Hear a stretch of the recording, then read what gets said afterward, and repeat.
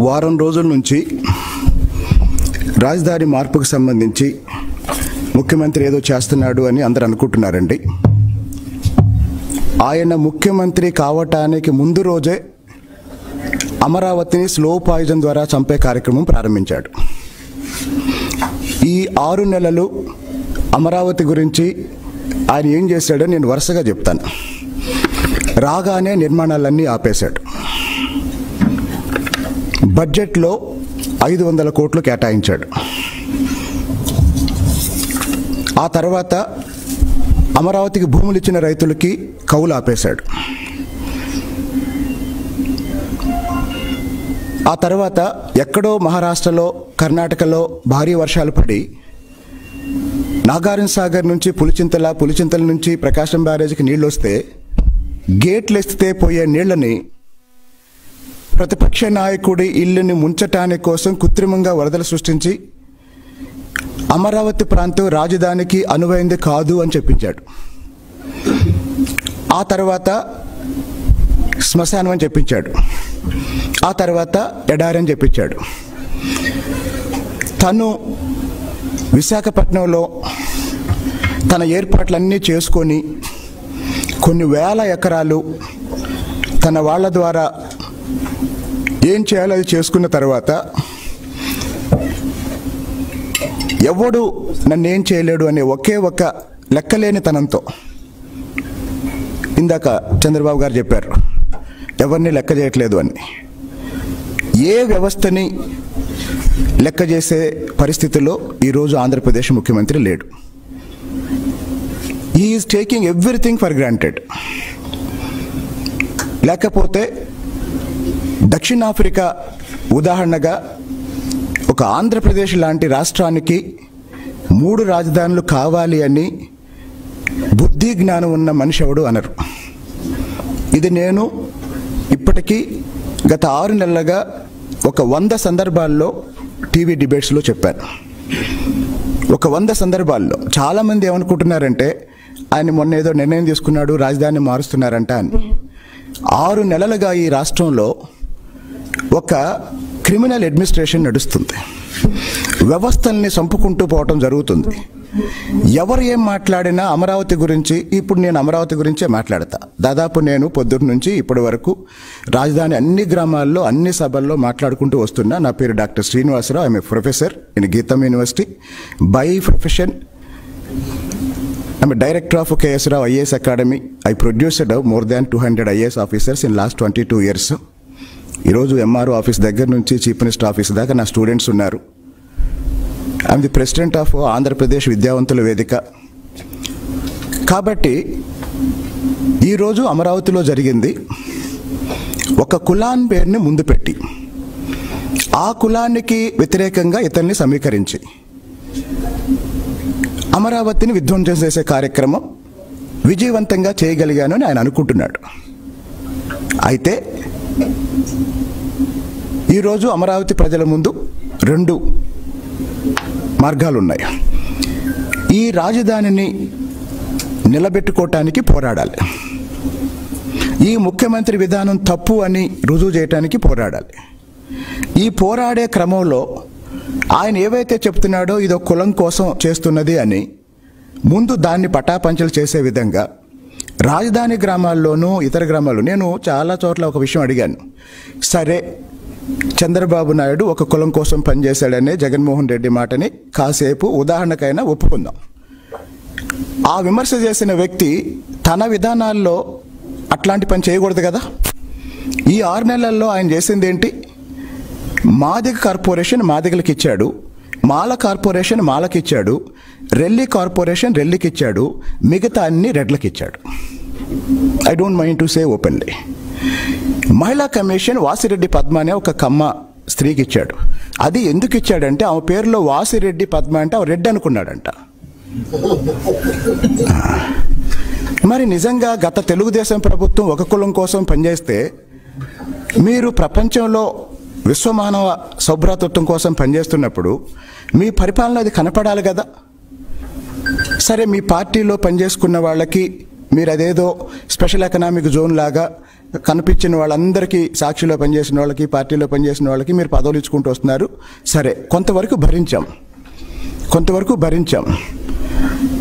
నేను డ ప్రజావేదిక కూల్చిన రోజే చంద్రబాబు నాయుడు చేసిన తప్పులకి ప్రజలు నాయుడికి సమాధానం చెప్పడానికి ఐదు సంవత్సరాలు పట్టింది. ఒక్క నిమిషం ఐదు సంవత్సరాలు పట్టింది. ఇప్పుడు జగన్మోహన్ రెడ్డి గారు అధికారంలోకి వచ్చిన ఈ డెబ్బై రోజుల్లో డెబ్బై ఐదు రోజుల్లో పోలవరం ఆపేశాడు అమరావతి ఆపేశాడు ప్రత్యేక హోదా లేదు బందర్పోర్ట్ ఆపేశాడు. ఈ ఇదే విధానాలు కొనసాగితే సార్ ఇదే విధానాలు కొనసాగితే దమ్ముంటే ఈ మంత్రుల్ని గ్రామాల్లో తిరగమనండి. దమ్ముంటే ఈ ముఖ్యమంత్రిని గ్రామాల్లోకి రమ్మనండి. కుక్కలను కొట్టినట్టు కొడతారు ఐదేళ్ళు ఐదేళ్ళు వెయిట్ చేయాల్సిన పని లేదు ఐదేళ్ళు వెయిట్ చేయాల్సిన పని లేదు Yeah.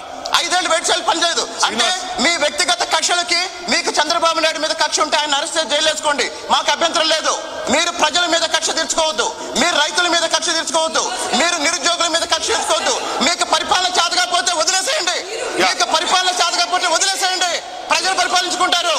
తుగ్లక్ పరిపాలన. తుగ్లక్ పరిపాలన. తుగ్లక్ పరిపాలన. Please. More updates, please subscribe. ఇది ఒక టీవీ ఛానల్ డిబేట్లో డెబ్బై ఐదు రోజుల రోజు నేను చెప్పిందండి. ప్రపంచం అంతా ఆరు నెలల తర్వాత ఇతను తుగ్లక్ అని మాట్లాడుతున్నారు. ప్రజావేదిక కూల్చడం అనేది జగన్మోహన్ రెడ్డి స్థానంలో చంద్రబాబు నాయుడు గారిని రాజకీయంగా తీవ్రంగా వ్యతిరేకించే వాళ్ళు ఉన్నా కూడా చేసి ఉండేవాళ్ళు కాదండి. ఎందుకంటే రాజకీయ భేదాభిప్రాయాలు వేరు పాలనలో కొనసాగింపు వేరు. సరే ఈరోజు ఈ సందర్భంగా నేను చెప్పేది ఏంటంటే అమరావతిని కాపాడుకోవటం ఈరోజు యుద్ధ ప్రాతిపదికన నేను అమరావతి ఇరవై తొమ్మిది గ్రామాల్లో ఉన్న ప్రజలకు చెప్పింది ఏంటంటే పొద్దున్నే లేచిన తర్వాత మీ ఇంట్లో ముగ్గురున్నారా నలుగురున్నారో మీరు షెడ్యూల్ వేసుకోండి. పొద్దున్నే ఒకళ్ళు వచ్చి టెంట్లో కూర్చోవాలి. ఎందుకంటే బయట ప్రచారం ఏం జరుగుతుందంటే ఉద్యమంలో ఎక్కువ మంది లేరు. అసలు అక్కడ ఉద్యమం జరగట్లేదు. నిన్న బొత్స సత్యనారాయణ అంటాడు అక్కడ వందల మంది ఉన్నారు. రెండు ఛానల్ వాళ్ళు రెండు పత్రికల వాళ్ళే ఉద్యమం చేస్తున్నారు. కాబట్టి ఎవరికి లేరు అంటున్నారు. రైతులకు కూడా నేను చెప్పింది ఏంటంటే కులం పేరు చెప్పి పార్టీ పేరు చెప్పి రైతు బాగుంటేనే రైతు కూలీలు బాగుంటారు. మొన్న తెలుసో తెలియకో చాలామంది పేద ప్రజలు జగన్మోహన్ రెడ్డి పార్టీకి ఓటేశారు. ఈరోజు మొదటి బాధితులు వాళ్ళే. ఈరోజు మొదటి బాధితులు వాళ్ళే. నేను ఇందాక ఒక చర్చలో చెప్పాను. బైబిల్లో ఒక సందర్భంలో పస్కా పండగ అనే సందర్భం ఉంటుంది. ఆ సందర్భంలో ఇప్పుడు మనం ఆగస్టు పదిహేనుకి కొంతమంది జైల్లో ఉన్న వాళ్ళకి క్షమాభిక్ష పెట్టి విడుదల చేస్తాం. ఆ యూదుల సాంప్రదాయం ప్రకారం ఒకళ్ళని నేరస్తుల్ని విడుదల చేస్తారు. యేసుక్రీస్తుకేమో సులువేయాలని శిక్ష విధిస్తారు. బరబ్బా అనే బందిపోటుకి శిక్ష విధిస్తారు. వీళ్ళిద్దరిలో ఎవరిని వదిలిపెట్టాలి ఎవరిని శిక్షించాలని న్యాయమూర్తి ప్రజలను అడిగితే ప్రజలు ఏం చెప్తారంటే బందిపోటు దొంగ అయిన బరబ్బాని వదిలేసేయండి స్వేచ్ఛగా. యేసుక్రీస్తు నేనే దేవుడి కుమారునని చెప్పుకుంటున్నాడు ఆయన్ని శిక్షించండి అని చెప్తారు. అంటే చరిత్రలో ప్రజలు కూడా ఒక్కొక్కసారి సామూహికంగా తప్పుడు నిర్ణయం తీసుకుంటారని సాక్షాత్తు బైబిల్లో చెప్తుంది. జగన్మోహన్ రెడ్డి గారికి కూడా తెలుసు పైన దేవుడు ఉంటాడు. కాబట్టి ఇది బైబిల్లో చెప్పింది. ఆ రోజు ప్రజలే ఒక బందిపోడు దొంగను వదిలేసేయండి బరబ్బాను వదిలేసేయండి యేసుక్రీస్తుని సిలువేయండి అంటే అప్పుడు యేసుక్రీస్తుని సిలువేశారు. మొన్న ఎన్నికల్లో జరిగింది కూడా అదే. కాబట్టి ఇక్కడున్న అన్ని సంఘాల మిత్రులకి ఆంధ్రప్రదేశ్ విద్యావంతుల వేదిక అధ్యక్షుడిగా నా అభిప్రాయం ఏంటంటే ప్రభుత్వం దున్నపోతు మీద వర్షం పడ్డట్టు. ఈ ఆరు నెలల్లో ఎవరు ఏం మాట్లాడినా ప్రతిపక్షం మాట్లాడితేనేమో ఒక కులం పేరు చెప్పి బుల్డోజ్ చేస్తున్నారు. అసెంబ్లీలో మాట్లాడుతుంటేనేమో బూతులతో బుల్డోజ్ చేస్తున్నారు. అంటే వాళ్ళ లక్ష్యం ఏంటంటే ఒక కులాన్ని చూపించి మిగతా కులాలని వాళ్ళకి వ్యతిరేకంగా తయారు చేసి వాళ్ళ రాజకీయ ఆర్థిక లక్ష్యాన్ని నెరవేర్చుకోవటం. కాబట్టి ఇప్పుడు విశాఖలో పెట్టేది రాజధాని కాదు. అది Jaganmohan Reddy special economic zone. ఇంతకుముందు పరిశ్రమల కోసం ఆర్థిక అభివృద్ధి కోసం వివిధ ప్రాంతాల్లో స్పెషల్ స్పెషల్ ఎకనామిక్ జోన్స్ పెట్టేవాళ్ళు. ఈరోజు అతను రాష్ట్రాన్నే ఒక స్పెషల్ ఎకనామిక్ జోన్గా మార్చుకోవటానికి ప్రయత్నం చేస్తున్నాడు. దీన్ని అడ్డుకోవాలి. ఇది అడ్డుకోకపోతే ఇది అడ్డుకోకపోతే ఆంధ్రప్రదేశ్ భవిష్యత్తుని ఎవరూ కాపాడలేరు. చంద్రబాబు నాయుడు గారు చాలాసార్లు చెప్తూ ఉంటారు నేను ఆంధ్రప్రదేశ్ని ప్రపంచ పటంలో పెట్టాను ప్రపంచ పెట్టలో పెట్టారు. ఆయన ఎక్కడ పెట్టారు? అమెరికా పక్కన పెట్టారు సింగపూర్ పక్కన పెట్టారు. ఇప్పుడు జగన్మోహన్ రెడ్డి గారు కూడా ఆంధ్రప్రదేశ్ని ప్రపంచ పట్టంలో పెడుతున్నారు. ఎక్కడ పెడుతున్నారు? ఇథియోపియా పక్కన సోమాలియా పక్కన దక్షిణాఫ్రికా పక్కన పెడుతున్నారు. ఇప్పుడు దీన్ని పౌర సమాజం ఇప్పుడు రాజకీయ పార్టీగా తెలుగుదేశం ముందుండి ఈ కార్యక్రమాలకి ఇది తప్పు మీరు నియంత్రిత పోకడలు పోతున్నారంటే వెంటనే చేస్తున్న పని ఏంటంటే కులం కులం కులం. పాపం ఆయన అధికారంలో ఉన్నప్పుడు ఆయన చుట్టూ ఉన్న నారాయణ ఆయన కులం కాదు సీఎం రమేష్ ఆయన కులం కాదు మొదట్లో లాభం పొందిన ప్రభాకర్ రెడ్డి ఆయన కులం కాదు. కానీ గత ఐదేళ్ళుగా ఈ ప్రచారంలో జగన్మోహన్ రెడ్డి విజయం సాధించాడు. దాన్ని నిజంగా నమ్మారు చాలామంది. ఈరోజు ఇరవై తొమ్మిది గ్రామాల్లో నలభై శాతం దళితులు ఉన్నారు అది దళిత నియోజకవర్గం. నేను తాడికొండలో పుట్టి పెరిగాను నేను. నేను తాడికొండలో పుట్టి పెరిగాను హైదరాబాద్ సెంట్రల్ యూనివర్సిటీలో ఎంఏ పిహెచ్డి చేశాను. నేను economic development of coastal Andhra a case study of nineteen twenty five to seventy five అనేది నా పిహెచ్డి థీసిస్ ఈ రాష్ట్రంలో ఏ జిల్లాలో ఏ మండలంలో అభివృద్ధికి సంబంధించి ఎన్ని అవకాశాలు ఉన్నాయి? నేను ఇప్పుడు ఈ సందర్భంగా నాకు అవకాశం వచ్చింది కాబట్టి ఒక నిమిషం ఇంకొక విషయం చెప్తాను. నేను పంతొమ్మిది వందల తొంభై నాలుగులో హైదరాబాద్ వెళ్ళాను సెంట్రల్ యూనివర్సిటీలో ఎంఏ జాయిన్ అయ్యాను. అప్పటికి హైదరాబాద్ అంటే పంతొమ్మిది వందల తొంభై నాలుగుకి. హైదరాబాద్ అంటే చార్మినార్ హైదరాబాద్ అంటే గోల్కొండ హైదరాబాద్ అంటే హైదరాబాద్ అంటే సాలార్జంగ్ మ్యూజియం. పంతొమ్మిది వందల తొంభై ఐదులో చంద్రబాబు నాయుడు గారు ముఖ్యమంత్రి అయిన తర్వాత హైదరాబాదులో మౌలిక సదుపాయాల అభివృద్ధి ప్రారంభమైంది. ఎవరైనా నా ఫేస్బుక్లోకి వెళ్ళి కొలికపూడి శ్రీనివాసరావు నా పేరు ఇది నేను చాలా సుదీర్ఘంగా వివరంగా రాశాను. పంతొమ్మిది వందల ఐదులో పంతొమ్మిది వందల తొంభై ఐదులో తొంభై ఐదుకు ముందు హైదరాబాదు చారిత్రక నగరం ఇప్పుడు హైదరాబాదు అభివృద్ధి చెందిన నగరం. ఇప్పుడు హైదరాబాద్ అంటే హైటెక్ సిటీ.